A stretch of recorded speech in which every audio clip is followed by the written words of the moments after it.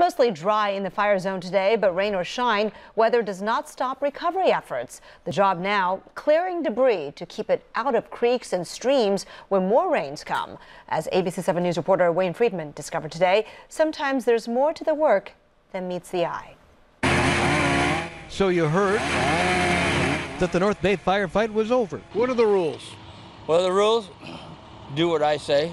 We're high on the hills of Upper Fountaingrove, where if the soggy ashes of these homes could talk, they would tell similar frightening stories of death, destruction, and fast moving flames. Cal Fire Captain Robin Bloom lived through the inferno. It's kind of awe, all, all struck. You know, you see it and there's nothing you can do. We'll leave the oleanders, but we'll cut this, this other dead stuff here. Today, Bloom and his crew returned. He knows every man. They're all the same. They're all innocent and all inmate firefighters. When we pulled in here, I, I said, anything behind these cones is off limits, anything in front of my bus is off limits. If they go out of bounds, they get rolled up.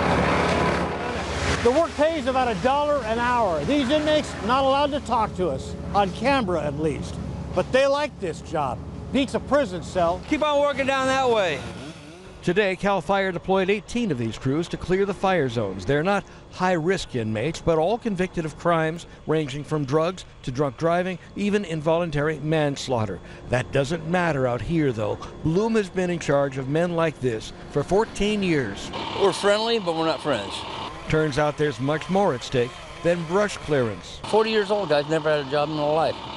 I've seen it more than once, uh, and, uh, and now they're learning what work is all about and learning the hard way, though it sure beats hard time.